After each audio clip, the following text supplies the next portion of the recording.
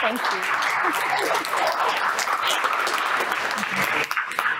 And hopefully the real-time translation will do better when I'm standing in front of the screen. Okay. Uh, thank you all for coming along. You're all awake, which after the party is phenomenal.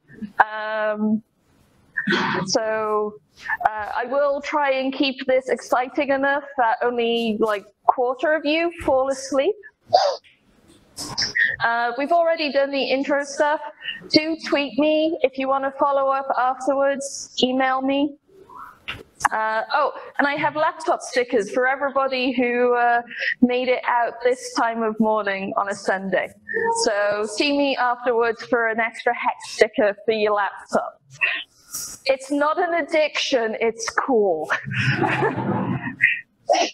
okay, so I'm going to be talking today about whether we, uh, as data scientists, kind of count as experimenting on people.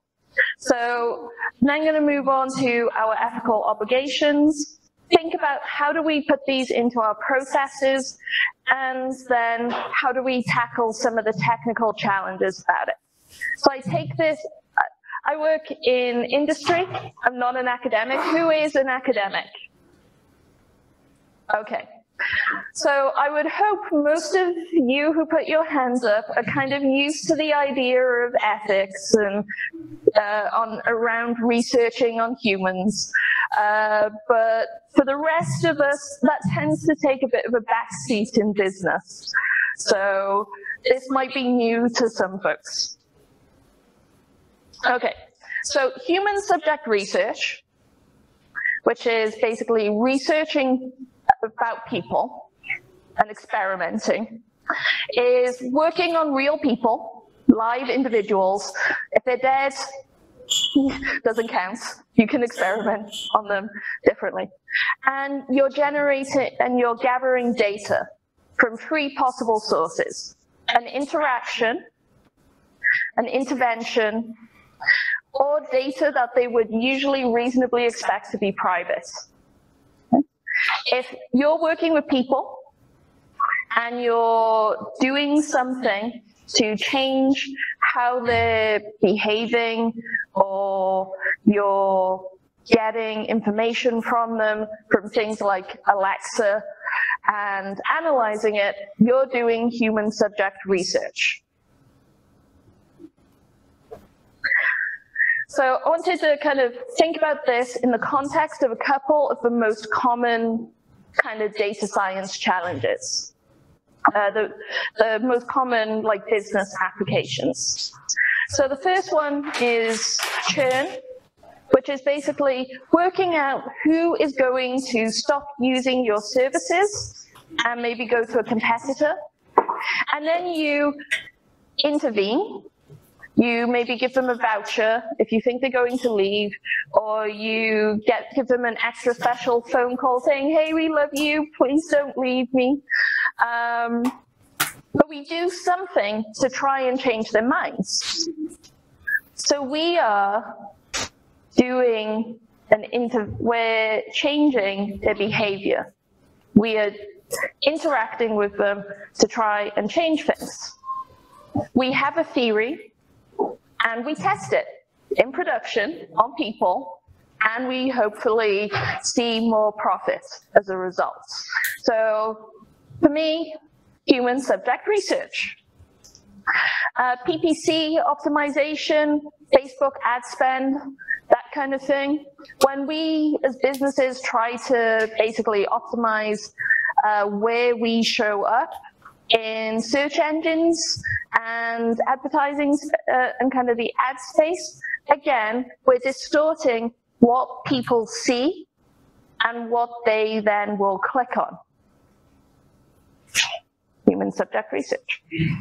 Credit worthiness, when we work out who is going to, who we should basically have as customers in one form or another, we decide what financial products they get which then impacts their lives. Recommendations, you know, if Netflix tell you to watch X, Y, and Z, uh, and you watch them, and then all of a sudden you end up being recommended some more horror movies, and just you end up you can end up down a really dark path of recommendations. And this is a big issue with YouTube more than Netflix, because uh, particularly for children, the recommendation engine starts reinforcing all sorts of crazy, horrible things that most people wouldn't let children watch. Uh, and it's because we're building things and forcing interactions. And then timeline ordering. So I always end up switching like Facebook and stuff to the latest view because chronological makes the most sense. Facebook and Twitter, they're invested in trying to find you the most relevant social media posts. And Facebook did an experiment uh, without an ethics board to order that timeline and see if they posted more negative stuff, if it would actually make people more depressed. And it did. Show people lots of negative stuff, and people feel more negative. So this is real world consequences. All of these things, when we do data science and we start building things, we're changing how people behave in a system. Fundamentally, we are experimenting on people, which, you know, first of all, we were cool, we were scientists, and then if you go out and say, I change how people think for a living, people probably start considering you to be evil. So if we want to be a bit more um, rigorous about our treatment of our experimenting on people, researchers have a number of obligations when doing human subject research. So they need to communicate that they're actually doing things, that there are interventions. So Facebook should have told you that they are seeing if you're uh, experimenting with the ordering of your feed. The problem is, a, from a business perspective, is that we don't actually want it to help people how we're trying to make more profit off of them, because people don't like knowing that you're manipulating them for your own ends. So we have to kind of think about that. We have to respect the autonomy of the individuals. So if we override their decision-making capability and warp it, are we respecting that autonomy? The right to opt out. Anybody got APIs and automated decision-making inside their business that actually goes to a human if somebody says uh, they want a human to look at it? Anybody? Yeah, so also a GDPR requirement. so I won't say how many people put their hands up. Uh, the benefits to the human you're experimenting on, it should outweigh the, the costs associated. So if you work out you can get a higher interest rate from someone, if you change the path they go through your website first, you're literally increasing the costs for the person, but not increasing the benefits they get. They just get the same amount of cash to begin with. So we might be uh, quite often failing that duty. We get more benefits as a business, but is the individual getting more benefits? No harm. Again, if we up the rate, up the uh, loan uh, repayment rates, then we can make a loan unaffordable and then somebody can go into more debt and that can constitute harm. If we have medical machine learning and we fail to detect an issue, and somebody ends up with more advanced stage cancer, for instance, we might be causing harm. Provide information about what you're doing. So we should be doing that under automated decision processes under GDPR anyway, but uh, it's often um, badly done or not done at all. And then protecting the privacy of the humans. Uh, so we, like, I always want all the data.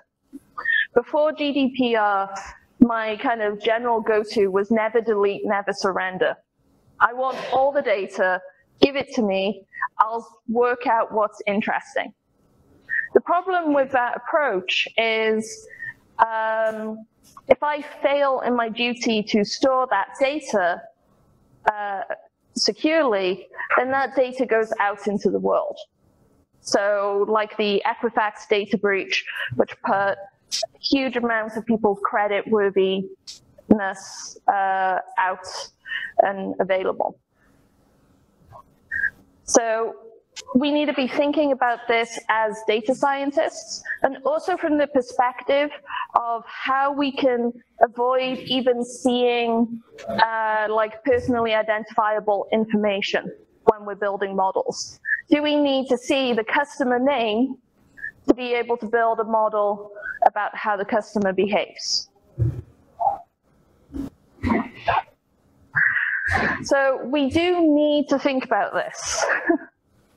And there's, uh, as well as kind of going from, well, you might be doing human subject research, you're experimenting on people, but we have a couple of reasons for this. So uh, we, Minority Report and kind of future crime and stuff,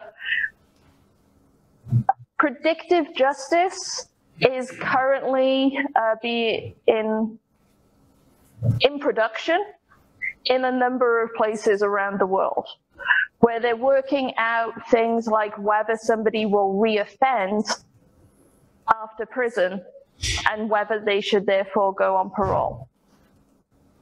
So as we start seeing uh, Facebook adverts tailored by the photos that you've uploaded and predictive justice and machine learning being used to decide which universities you go to, uh, we need to be thinking about how we do all of these things in a safe, no harm oriented way so that we don't end up uh, kind of reinforcing uh, biases or implementing some and ending up in a bad place uh, in future.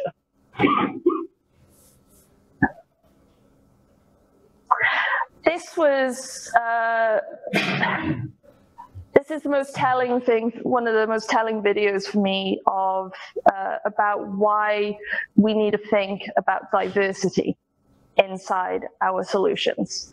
So a bunch of people built a soap uh, dispenser. And it worked on their hands, but not on people with skin of a different color. They had nobody in the design team, nobody in the engineering, nobody in the quality, in the QA testing, no business stakeholders in this process, no beta testers who were not like the engineers. And so they built something that did not work out in public. And we have some of these issues around um, did you see with Fitbits where you could, uh, where they made the data publicly available and it showed up a load of secret bases? Yeah, that was funny. But it also, uh, things like that data being publicly available make it difficult for people in things like domestic abuse situations. So it ends up giving us a lot of risk because people aren't thinking about that when they build solutions. So if we start thinking a bit more rigorously about the ethics of our business projects, then maybe we won't accidentally find ourselves building solutions that don't work on the vast majority of people in the world.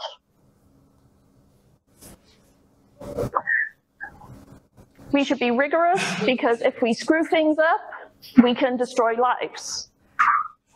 So we were talking about this on Friday, and somebody said it was just money uh, in the round table, but if you get blocked from access to finance, you can't often buy vehicles, you can't, in the UK, you can't go to university because you can't get a student loan, you can't buy a house, you can't go on holiday, and get credit card protection against your uh, uh, travel provider going bust.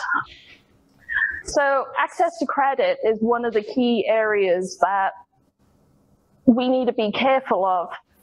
And um, if we make mistakes, so the uh, Wells Fargo, their risk model, somebody screwed up when they were writing it a little bit, and more than 500 people got their homes repossessed when they didn't need to. Uh, the Bill Gates Foundation, trying to do very cool things like uh, get rid of malaria and things. One of the things that they did was they tried to make schooling systems fairer. So in the, they spent $600 million on trying to improve the uh, teaching in a school, uh, in a city schools primarily. So they set up a model about what looks like uh, a fair and high quality teaching process. And they scored schools and individual teachers on this.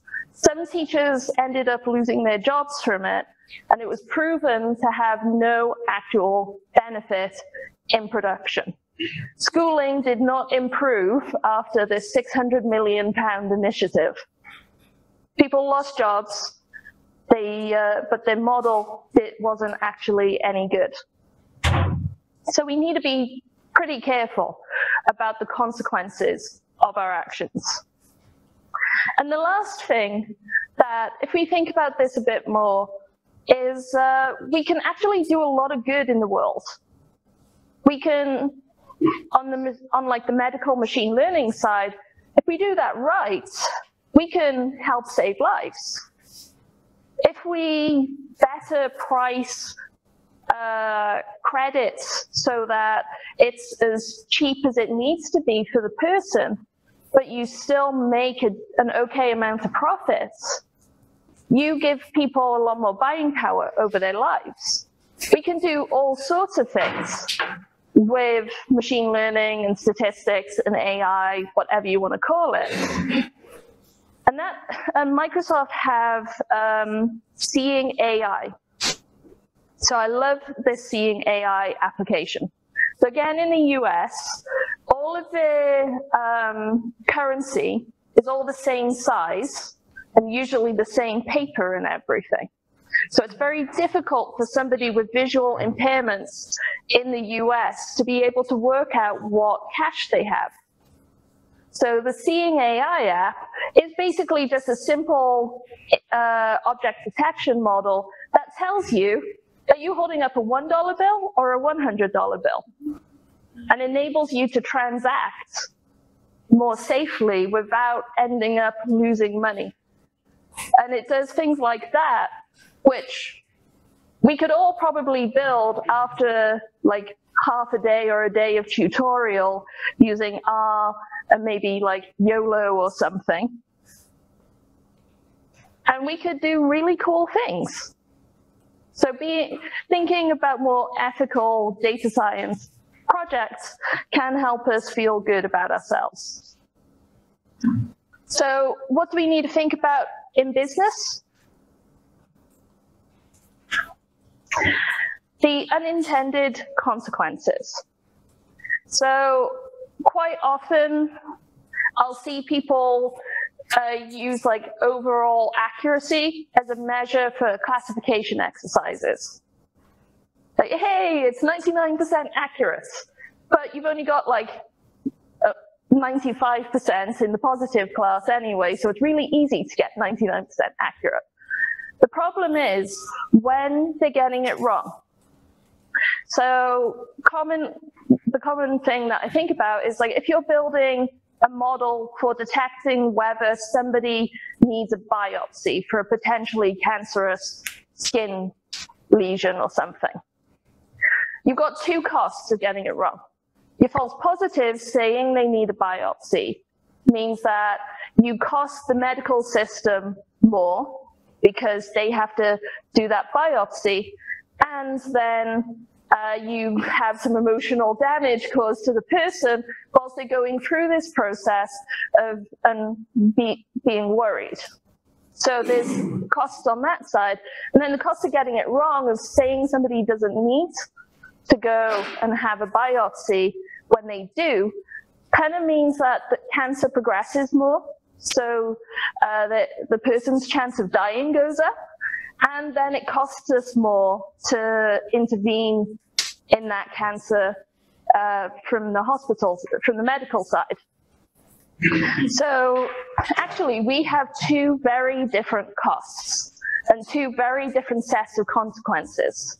And as we build solutions, we should actually be trying to quantify those costs of those errors and look not at the overall accuracy, but at the detail level measures of precision, recall, sensitivity, and whatnot, and how our model interacts with the consequences. We also change behaviors. So with, like with Facebook's uh, timeline reordering, they made people more depressed. That trickles through their entire lives. So if we're changing how people see the world, what results people get, and um, even like how applications and things work because of our machine learning processes, we need to make sure that hopefully we're changing things for the better for the person. And we need to be particularly sensitive to the possible consequences of our models when we're dealing with finance, people's lives, and political stuff. Now, everybody heard about Cambridge Analytica? We need to be careful. so I feel like we have some responsibilities, and some of these are definitely still kind of up for debate, and I don't have all of the answers to ethics. This is something that every individual in the room needs to think about, and every business needs to think about when you're what ethical looks like inside your organization. So the first thing that we need to do when we start building models is actually plan. I know it's not agile, but we should have a thought process at the beginning of projects where we actually think about the ethical, uh, the ethical implications of our project. This can be considered radical, this planning up front, but I think that's the least we can do. We can think about it. We should look at how we uh, help people operationalize our models.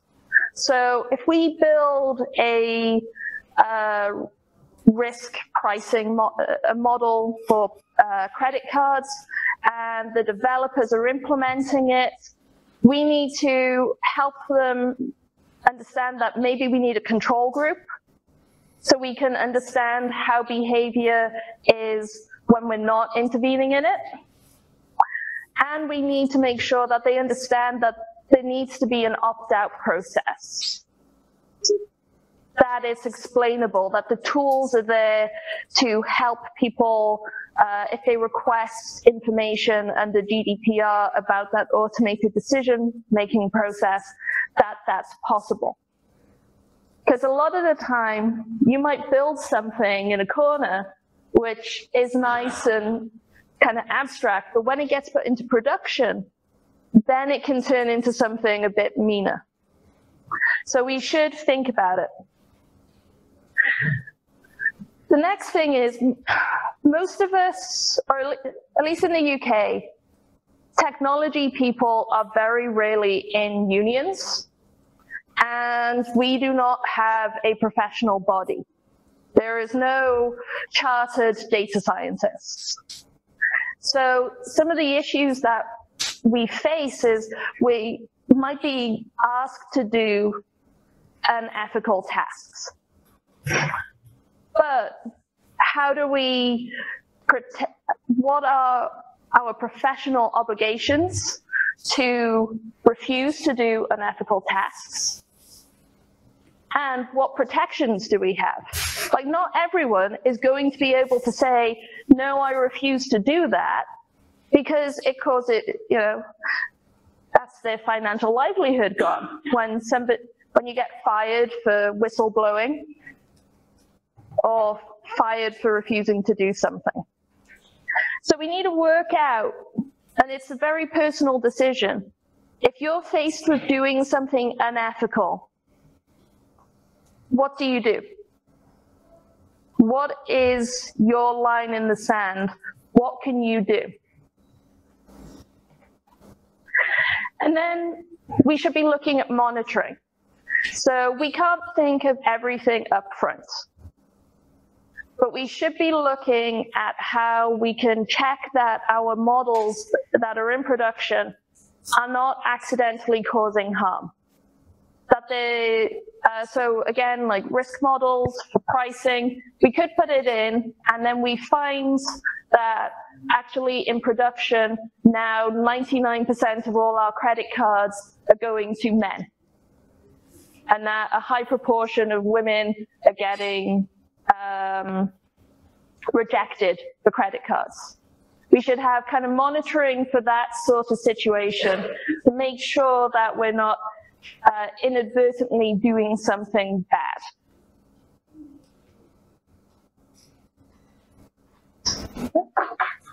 The responsibilities of the company. So hopefully most companies want to be ethical but that's a difficult uh, thing to quantify. So uh, organizations have legal requirements, right? Like um, GDPR, not pumping our food full of crazy chemicals, that kind of thing. So there's a minimum standard set out by the law that businesses need to adhere to. They also have a responsibility to generate value for their, usually their shareholders. This can distort behavior because when you're trying to get dividends paid out so that your shareholders don't kick you off the board, then you can end up prioritizing short-term profits over longer-term um, sustainability efforts. And becoming a little bit more common these days is being customer focused in terms of the value and the considerations. So yes, we need to earn money for our shareholders, but should we be thinking about things in terms of the more in terms of the value that we're adding to our customers? If we are continuing to add more value and we price appropriately for that, we should make a good profit. But we're not going out of our way to do harm to our customers. So that's an area where we can be thinking more about uh, things at a company level. So what are we going to do? One of the biggest things that we need to do is actually start talking about ethics on a regular basis. As uh, inside data science teams, even if it's just yourself, put it on the company Slack about a news story about data science gone wrong. You know, communicate that it is an important component of the workflow. You can run uh, ethics training workshops, and they, they have a really nice out-of-the-box one. So you can just spend half a day with key stakeholders to your data science team and get them thinking about ethics. And uh, at the end of these slides, there is a bit.ly link filled with like 50, 60 different links for further reading, including this link. So you'll get that. Think about the frameworks that you do data science in. So you might have, um, you might work inside kind of like an agile uh, ish development process. You might have a Kanban board for your tasks, which is kind of a fancy to-do list with a limitation on how much you're allowed to multitask. Part of that process when you do a data science project, add in when you kick stuff off some assessments.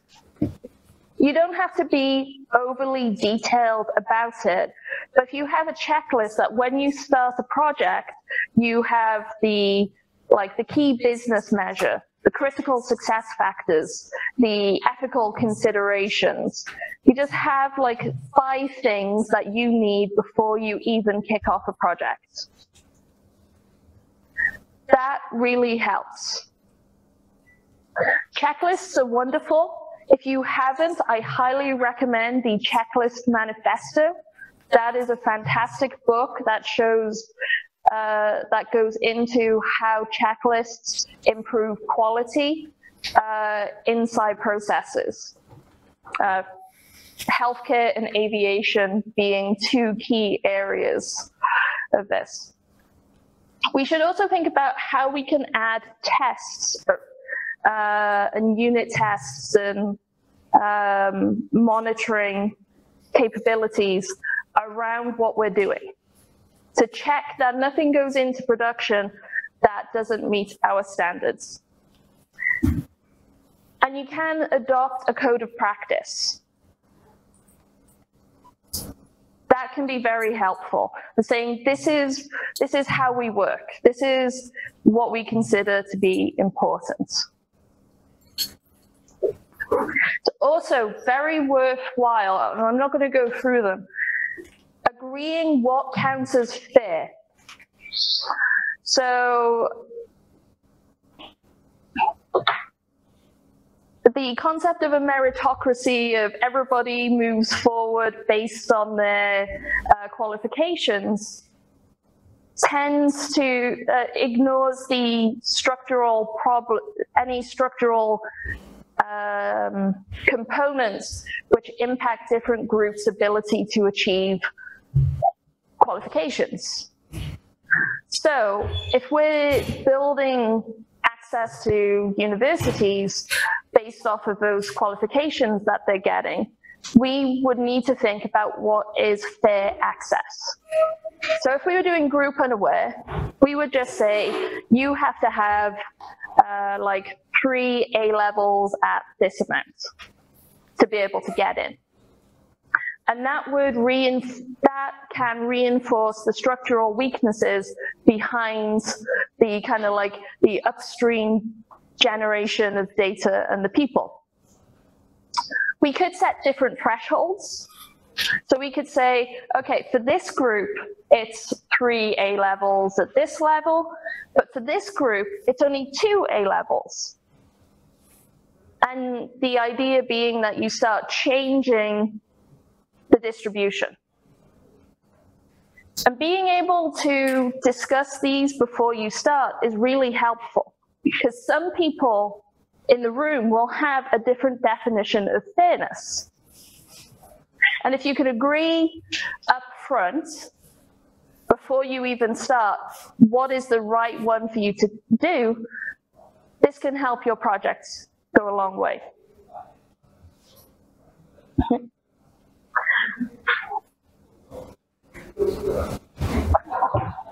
So, um,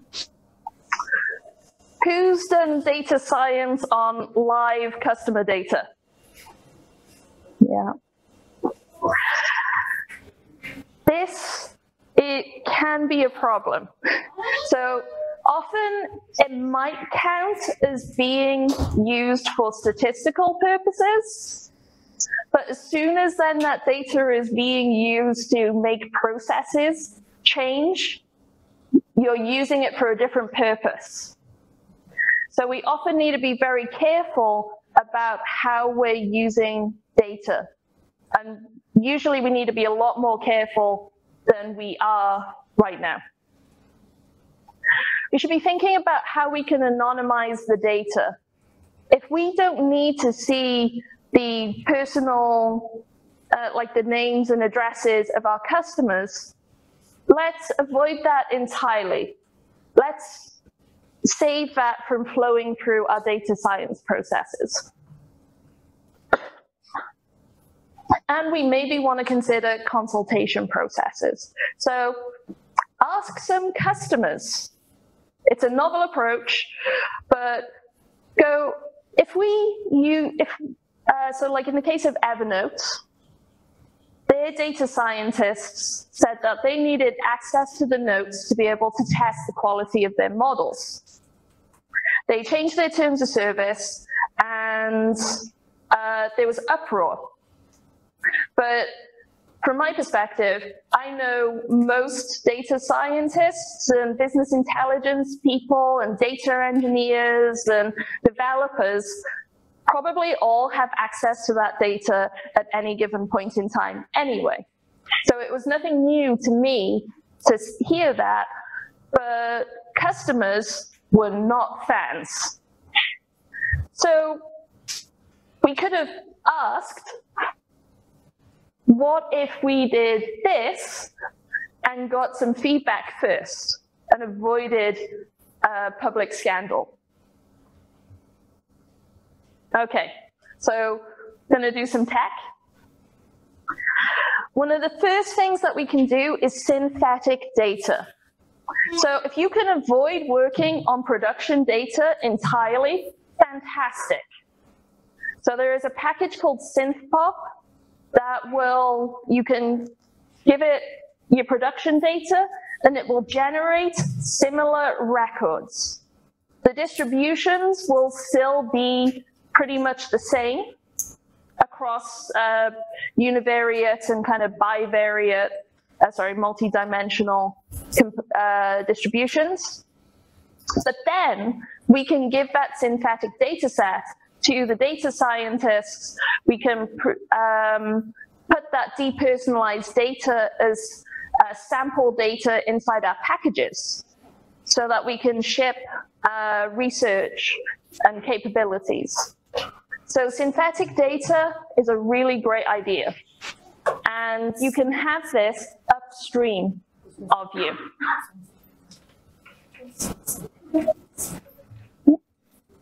Uh, part of the uh, OpenSci Unconf, um, there was a set of vignettes on when doing exploratory data analysis, checking protected characteristics for uh, bias in your system. If there, you, before you build a model, check and see if there's bias. If yes, have a discussion about what to do about that bias. That's where the notion of fairness will come in. Testing.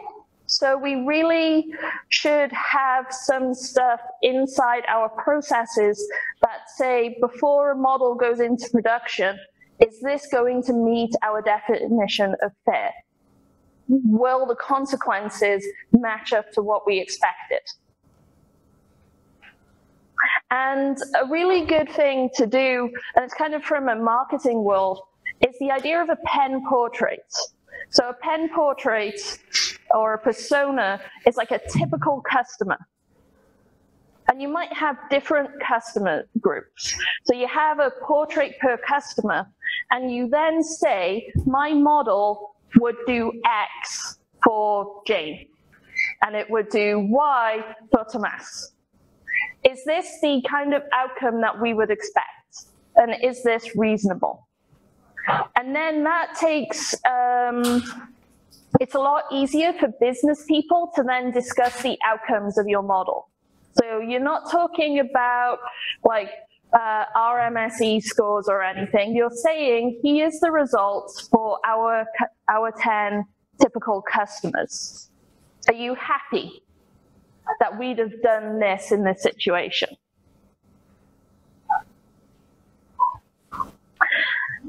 I've struggled to find R tooling for kind of this assessment of fairness and detecting uh, kind of bias about groups inside R. I'm always looking for suggestions, but there is um, FairML, which is a Python package.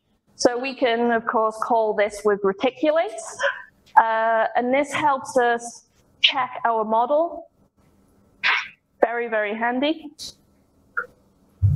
Yeah. And then Google released this what if tool. So again, you, uh, it's open source. You can put this in front of one of your models and you can then check and see for different definitions of fairness and different cutoff points and things for your classification model, what the impact would be on usually like your test data set or your full training data set. And it gives you the opportunity to check counterfactuals. Basically, two customers who would be pretty similar but get different outcomes so that you can check and see uh, whether that is, again, a reasonable thing from a business perspective.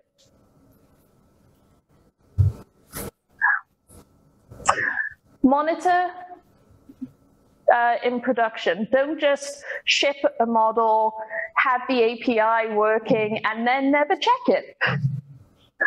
It's you, you'd be surprised how many people forget to put monitoring into a solution. We also need to think about security longer term. Um, one of my favorite uh, memes recently has been a self-driving car uh, in a circle of salt. Because the circle of salt was a solid white line from the perspective of the model, the car couldn't go anywhere. It was trapped in a summoning circle. And that's an example of adversarial behavior. When we have machine learning models in, uh, and making automatic decisions without human intervention, it becomes very easy for people to start working out how to game the system. And in, we've got the uh, like the facial recognition uh, stuff going on at the moment, and uh, people wearing glasses and things to do that. We need to think about robustness. How are we going to make sure that our models um, end up with a safe conclusion for people when data might be missing? An area that I think we're going to need to do more of from the security side of things is red teams and blue teams. So businesses with a lot of security uh, concerns, they often have two teams. The red team tries to basically break into the company's systems. The blue team get uh, basically a load of, tr try to keep the system secure. So as we're building, if we're going beyond uh, like a linear regression, and building black box solutions and things that can be harder to understand, we should be looking at how we can actually exploit our model uh, and how we can protect our models. And it's going to become more and more important. So hopefully I've given you a huge to-do list. And we also have further to do for you. Uh, the bit.ly link, the ethical data science links, that has lots of uh, further reading on this topic. uh, so you can uh, read them on the metro and everything. You can get the slides, they're already on the GitHub. Um, and that's it. Thank you all very much.